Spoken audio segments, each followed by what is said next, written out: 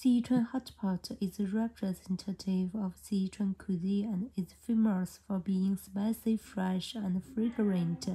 Typical hot pot dishes include thinly sliced meat, leaf greens, mushroom wonton, wontons, egg dumplings, tofu, and seafood. The cold food is usually eaten with a dipping sauce.